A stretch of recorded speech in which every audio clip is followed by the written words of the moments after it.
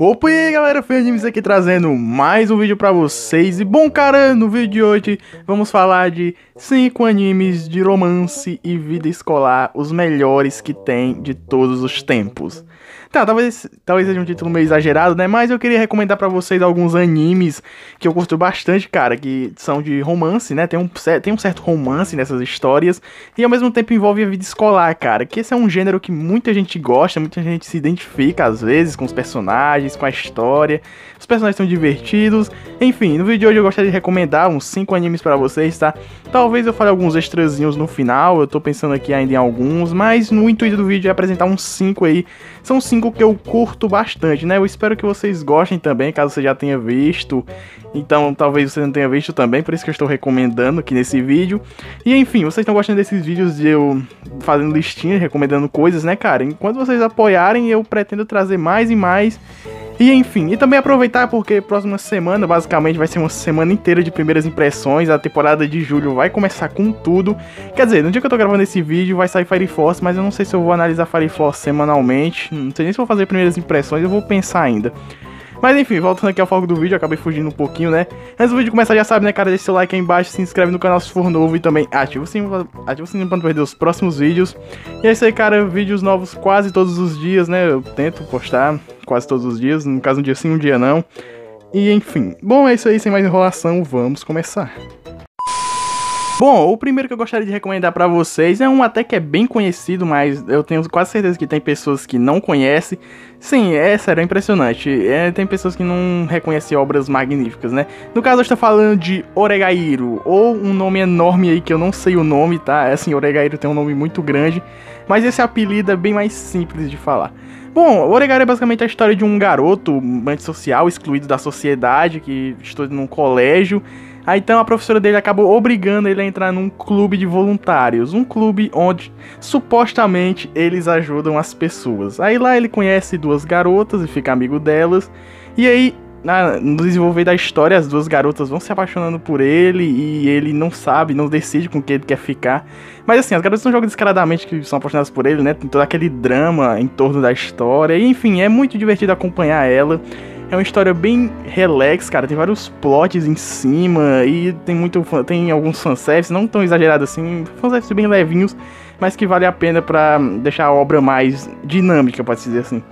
E bom, Oregairo tem duas temporadas. A primeira nem é tão boa assim, pode-se dizer, porque foi feito por um estúdio lá bem mais ou menos, a animação é bem econômica, mas aí chegou a segunda temporada e nossa, ah, ficou incrível, deu um mega upgrade em Oregairo. Então, é um anime de vida escolar com romance, com certeza tem romance, então vale muito a pena dar uma chance. É um dos meus animes desse gênero favorito, eu recomendo bastante, caso você não tenha visto Oregairo ainda. Corre, porque a terceira temporada já vai começar, ela vai encerrar o anime, vai adaptar todo o material, todo o material original então, cara, você assiste duas temporadas de boa. Faltam uns quatro dias no dia que eu tô gravando esse vídeo. E no dia que eu vou estar tá postando, no caso, vai estar tá faltando uns quatro dias, cinco, por aí. Então, cara, dá tempo sem maratonar. São só 12 episódios cada temporada. Você maratona as duas. E já chega com tudo na terceira temporada que vai começar aí. E você não vai querer ficar de fora. Então, tá aí, eu recomendo bastante o Oregairo. Você vai gostar bastante dos personagens. São muito carismáticos. Especialmente o protagonista. Ele é muito bom. Eu até coloquei ele recentemente no meu top de melhores protagonistas. E é isso aí, cara. Oregairo tá aí, primeira recomendação, e espero que vocês gostem. Bom, outro bastante interessante que muita gente fala bem, cara, é Ryouka. Ryouka é basicamente a história de um garoto chamado Yotaro Ryou mano, que é mais complicado que não gosta muito de se envolver com o mundo, mas foi ordenado pela irmã dele a entrar no clube de literatura da escola. Aí lá ele conhece mais. conhece duas garotas e um garoto lá, e o garoto é meio popular. enfim, a trama gira em torno desse clube e os mistérios que rolam em Ryoka. Assim, não é um anime muito focado em drama, em, em ação, sabe? É mais focado em Sly, Sly, of, Sly of. Meu Deus. Sly of Life. Eu não consigo falar essa palavra direito é bem focado nisso, sabe? Não tem grandes mistérios, não tem grandes sobrenaturais, né? a gente tá acostumado a ver nessas coisas. É, uma, é um anime bem leve, cara, e rola certos climinhas na romance entre o protagonista e a heroína, e por, e por sinal a heroína parece ser bastante carismática, cara. Assim, eu não assisti Ryuka, tá? Eu já vi muita gente falando bem, e assim, por isso que eu tô recomendando, mas só de olhar a protagonista, já dá, já dá vontade de assistir, cara. Dá pra ver que ela é bastante carismática e vale a pena dar uma chance. E sem falar do visual do anime, né? Porque é feito pela Kyoto Animation, um dos melhores estúdios do Japão. Então você já sabe que a parte visual vai ser com certeza espetacular, né? E bom, Ryoka conta com 25 episódios, ou é 24, não sei, eu confirmo aí na telas, eu acho que é 24. Enfim, tem uma história basicamente fechada. Não assim, não adaptaram tudo do original, mas eles conseguiram dar um fechamento bacana pro anime. Então eu não acho que vai ter uma segunda temporada, mas enfim, se contentem com o final do anime, que pode se dizer que decepcionou algumas pessoas, né? Mas enfim, você assistindo aí você vai conferir, ver se você vai gostar ou não. Mas eu acho que vale muito a pena dar uma chance, é um anime bastante divertido. E você com certeza vai gostar dos personagens. Especialmente da heroína que, nossa, ela parece bem carismática mesmo. Outro anime desse gênero que é bastante conhecido é Toradora. Foi um anime que foi lançado em 2008 e conta basicamente a história do garoto chamado Ryuji Taka Takazu. É um jovem que vive com vergonha de ser confundido por um, por um delinquente. Ele se confundiu com um delinquente por causa do olhar que ele herdou do seu pai, que era meio que um bandido das antigas, tá ligado? Assim, mas o cara é gente boa, o, o protagonista no caso, o pai dele, eu não sei dizer muito bem não. mas enfim, ele vive sofrendo essa espécie de bullying na escola, porque a galera olha assim para ele e não se envolve com ele, sabe? Ele fica meio excluidão. Apesar de ter um amigo lá, né? Mas enfim, a maioria tem medo dele e isso é meio chato, né, cara? O cara nunca fez nada de errado, mas o pessoal morre de medo dele por causa só do olhar, né? O olhar penetrante, pode-se dizer assim. Aí ele acaba conhecendo uma garota, né? Que é uma garota que todos da escola têm medo, uma garota baixinha e bastante violenta, pode-se dizer assim. Que ela pode ser baixinha, mas ela é bastante forte. Ele acaba conhecendo ela, o nome dela é Taiga. E no caso ela é, ela é a heroína principal, né? Aí o anime vai desenvolvendo eles, né? E assim, no início a Taiga ela demonstra interesse no amigo do protagonista. Aí então ela meio que vai com, dá um jeito lá e faz ele ajudar ela a se declarar pro amigo dele, mas só que no final ela acaba se apaixonando pelo protagonista. Aí no caso rola uma treta louca lá, porque ele gosta da amiga da Taiga e a Taiga gosta do amigo dele, sacou? Mas aí no final das contas vai ah, dando desenvolvimento aí na história e é bastante interessante, curioso de você acompanhar. E também por causa da Taiga, porque com certeza você já deve ter visto algum meme dela por aí, porque ela é uma das tsunderes mais conhecidas dos animes, né? Porque assim, apesar de tudo, ela é bastante violenta, mas no final das contas ela acaba meio que gostando do protagonista. Ela vai se declarar lá pro amigo dele e acaba dando errado. Porque é engraçado, porque assim, o, o amigo do protagonista diz lá, ah não, acho que você gosta dele, não de mim, sacou? Aí não dá essa declaração lá, é uns negócios muito doido. E Toradora conta com 25 episódios também e algumas OVAs. E assim, que eu me lembro, eu não sei se adaptaram tudo do original, talvez sim, talvez não. Qualquer coisa eu confirmo aí na tela. Mas enfim, é outro bastante conhecido, mas como você pode não ter visto ainda, então, sei lá, ter ficado meio assim, hum, será que eu vejo ou não?